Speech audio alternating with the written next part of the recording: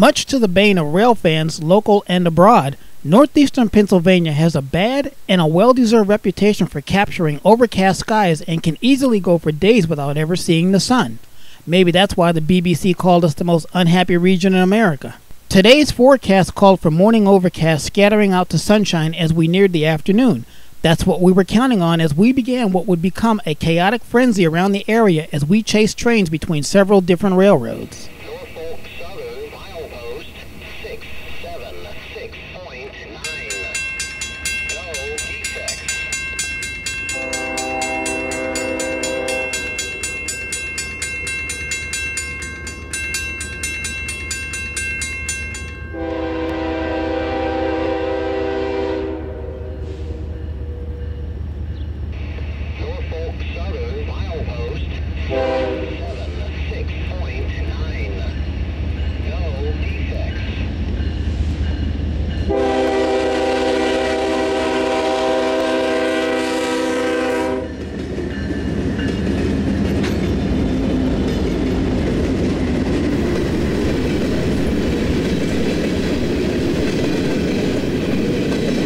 Today I'm rail fanning with JC of Fire and Film Photography and a YouTube channel of the same name. There's a link to his channel in the description of this video so you can check him out.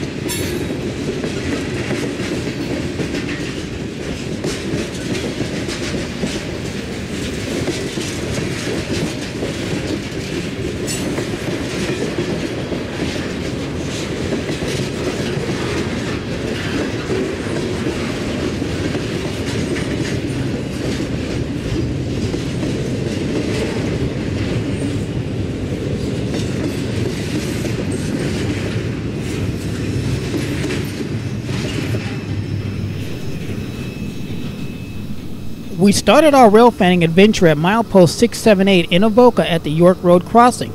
Directly to the right of us is the Petrogas propane facility and one of the stops on today's local job out of Taylor Yard. At 628, our first train of the day showed up in the form of the Allentown bound train 36T with three black diesels trumpeting by elephant style. In typical operating fashion, the 36T must stop at DuPont Junction before diverging onto the Reading and Northern's Lehigh Division. This gave us enough time to set up at our next location. In an earlier video, we got a look at the DuPont's main street from the perspective of the locomotive engineer. I pointed out that the main line signal and its accompanying dwarf signal on track 2 had been moved further up the track, closer to the switch. I'd also pointed out that track 2 of the line had been upgraded to mainline class 1 standards since that time and now we get to see those improvements firsthand as our 36T eases its way onto the line, kicking up a fuss as it heads in our direction.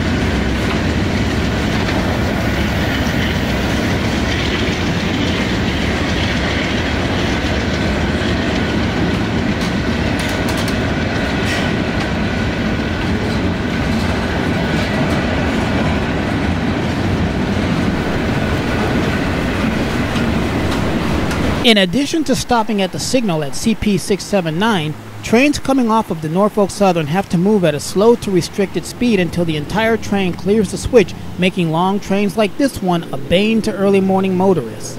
The chaos is evident more than five minutes after the locomotives passed our location. Looking back toward the junction, you probably noticed that green clear signal over on track 1.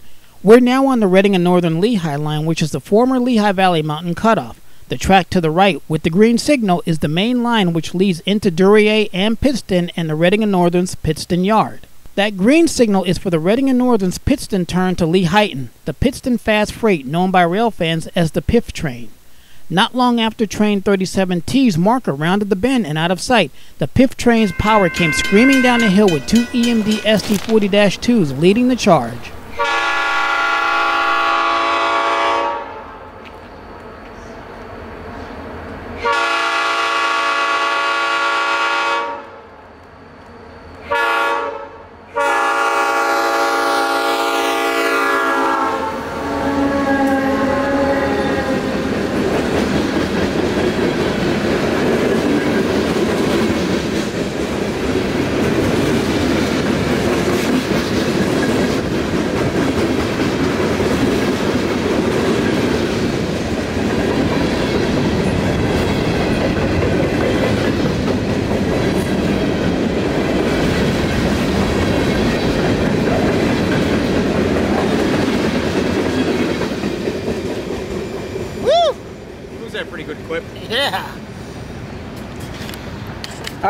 Go get 11Z.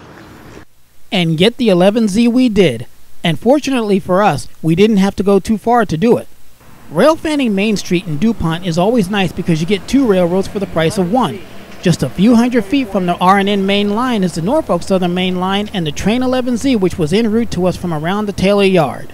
In a short time, the headlight of a black Tier 4 diesel lit up the rails as Train 11Z with a long train in tow stormed over the Main Street crossing.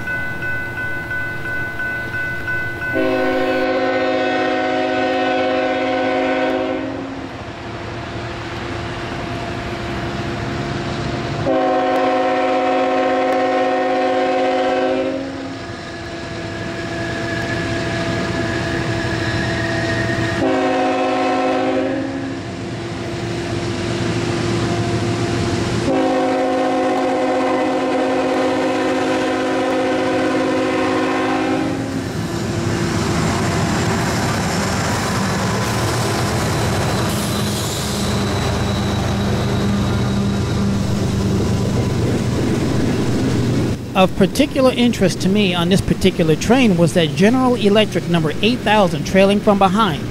It's the class unit of the AC GEVOs on NS. In 2010, NS ordered 42 additional ES44 ACs from GE.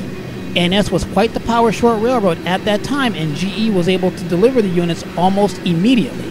The reason for this was an order for around 24 AC GEVOs that NS bought in the fall of 2008. These were the NS's first newly purchased AC locomotives on the railroad. The reason that GE could deliver the second batch of GEVO so fast was because the materials were already in the pipeline for a CSX ES44 AC order, which was canceled. This is why to this day, NS ES44 ACs are built to CSX specs. Those 24 units were a landmark token order for the NS, and the performance of those ES44 ACs, along with those of Conrail's SD80MAC, finally convinced the railroad to start shifting to AC traction, having held out for years.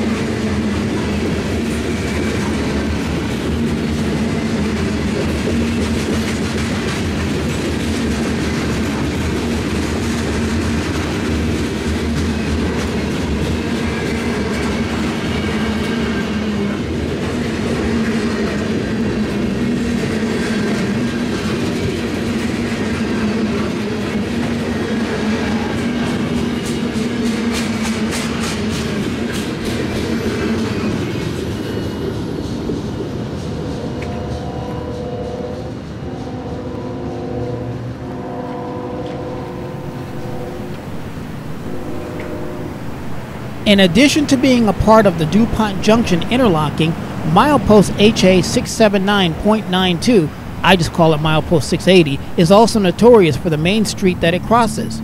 The crossing gates are constantly being knocked off their stands by impatient motorists trying to beat the train. This morning, a heavy rain has just fallen, leaving just enough rust on the rails to highlight the still visible scars left on the tracks from the firestorm of the rail grinder more than a month ago. Even more interesting was this generation's old D&H no trespassing sign which clearly has seen its share of trains pass by. I have to give credit to JC for pointing this little railroad artifact out to me. In typical morning fashion, the K81 local job will normally follow the 11Z down as far as Yatesville and sometimes go down as far as Buttonwood. Today is no different, and just a few minutes after the 11Z echoed its way down the line, the power for the K81 charged south behind it, engines light to perform a set-off in building number 7.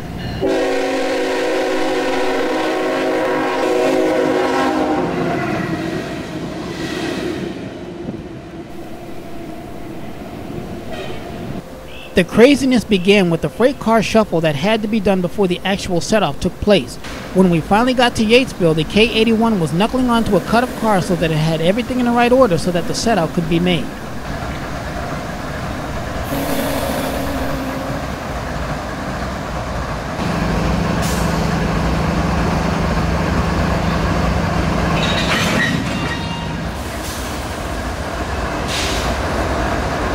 The power on today's K81 represents the alpha and the omega of GEVO power on the NS.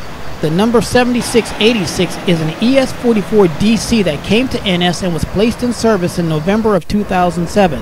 The 3642 is an ET44 AC and is one of the newest locomotives on the railroad. But here's where things start to get chaotic. The K81 will have to juggle cars around to get enough spacers to allow them to make their set off into building number 7.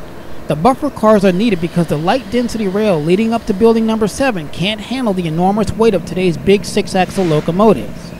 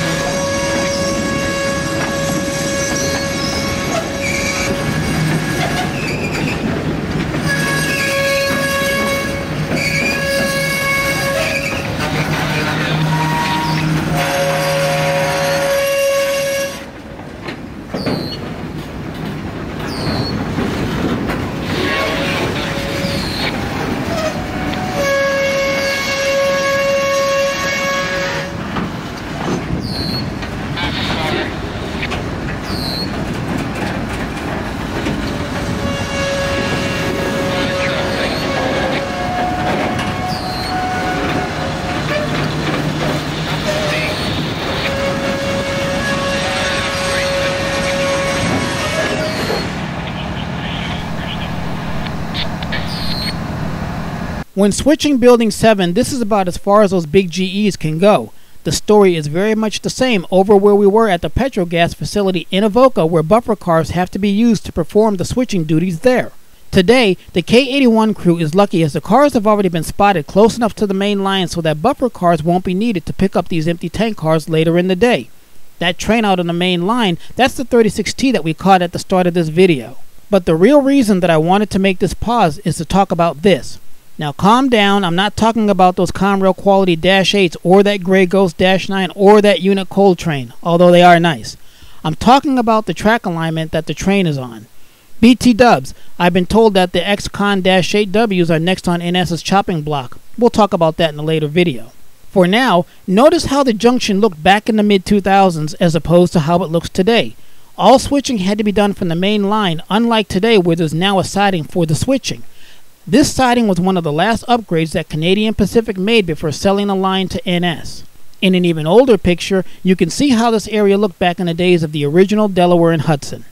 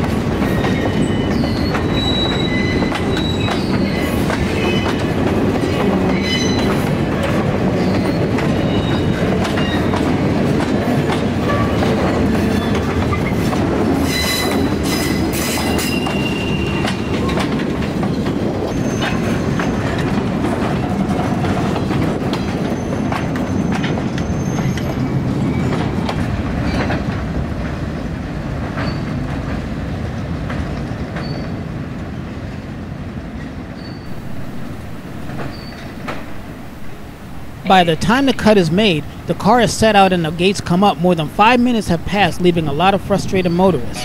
Unfortunately, it's a maneuver that can't be avoided, and Conductor O'Donnell of this train tells me that he's had his share of choice words hurled at him from angry motorists. But remember this the railroad was there first. The conductor informed us that their next move would be back in Avoca. By the time we got there, the K 81 was already coupled to those empty tank cars and pulling them out onto the main line. Notice that the power has been split. This is so that they can get this train into Taylor Yard. Now follow me on this. Every track at the north end of Taylor Yard is blocked with intermodal or freight. K81 will have to enter from the south, and once in the yard, they'll cut off the number 7686, shove the cars into the yard with the 3642, cut away, hook back up to the 7686, and then recouple onto their train in the yard. Keeping in mind that all of this back and forth takes time, something crews have a limited amount of.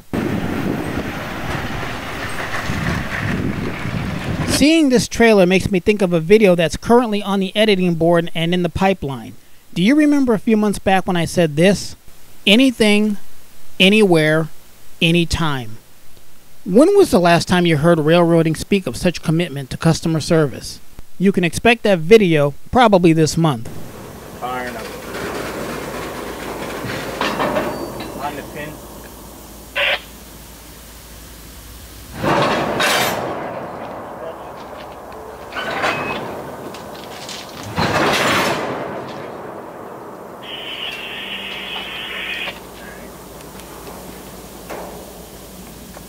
We tried to outpace the K81 to Taylor, and once again they beat us to the punch.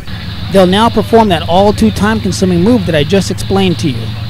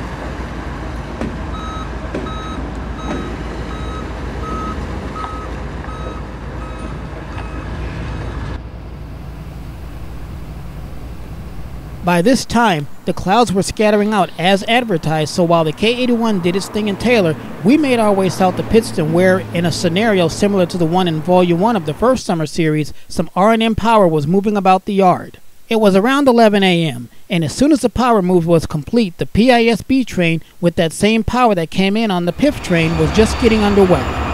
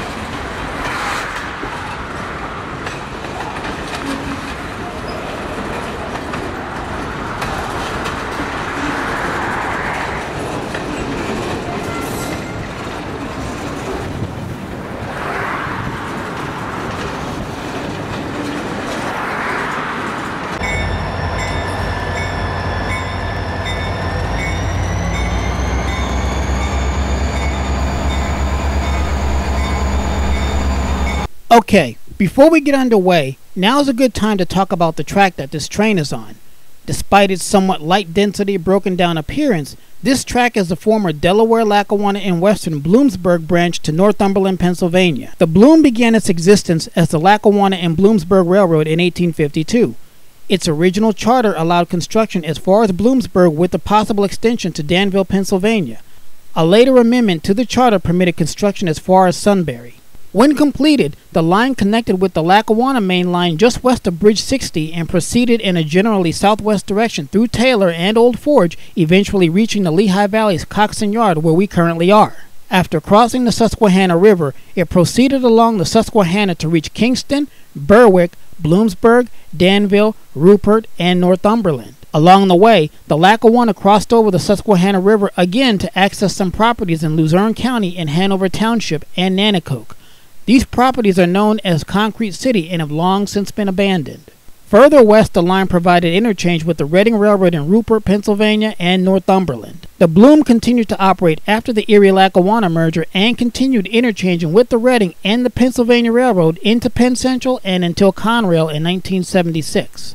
When Conrail took over most of the Erie Lackawanna in northeastern Pennsylvania, operations on the Bloom changed drastically. Conrail operated the line between Beach Haven and Northumberland on the west end and between Kingston and Scranton on the east end. The part between Kingston and Beach Haven was abandoned and ripped out shortly after Conrail began.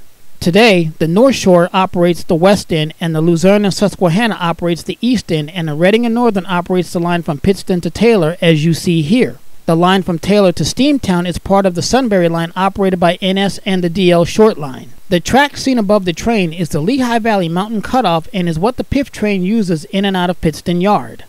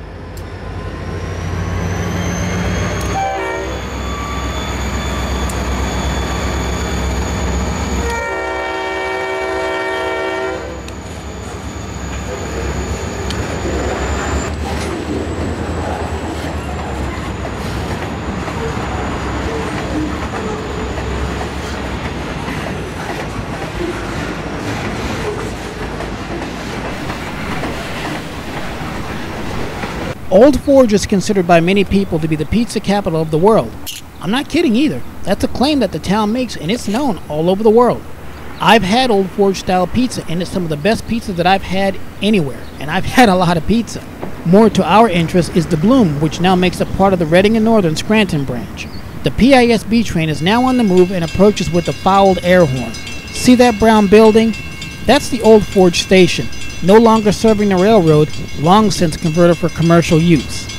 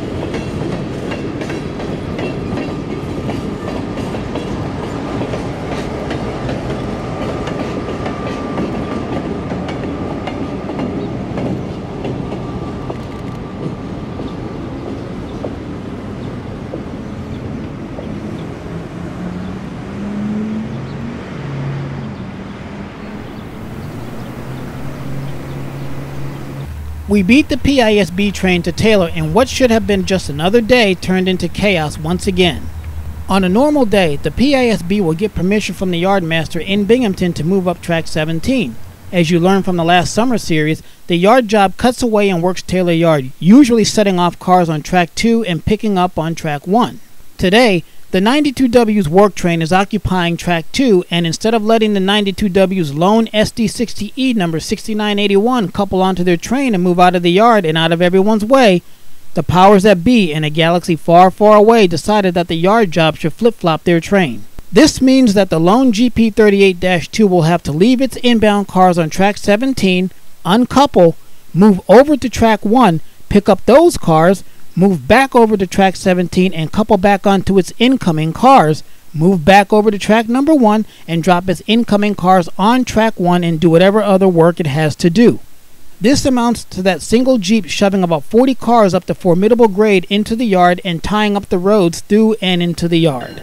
Like I said, a day of chaotic railroading between two railroads.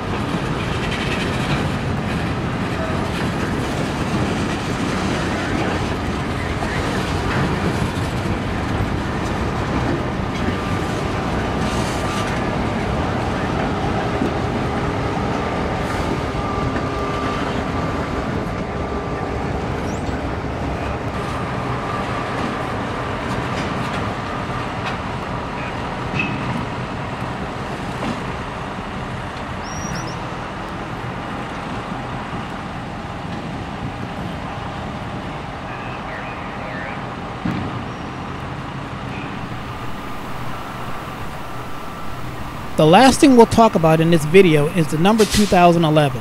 In the last summer series, the ex-Southern Railway Jeep still retained its high, short hood just like the 2010 we saw a little earlier. However, all three high hood Jeep 38-2s acquired by the Reading and Northern from NS have all had their noses chopped and are awaiting new green and yellow paint.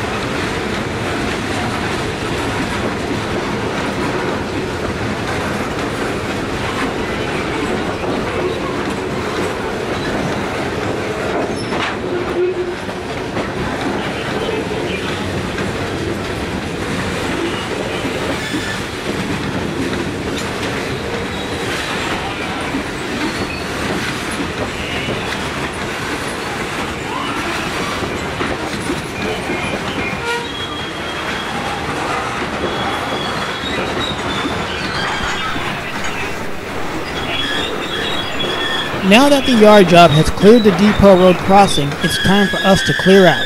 Summers were made for rail fanning, and we can only ponder what the rail fanning of summer of 2019 has in store for us. Until next time, for Trains 21, call me AC.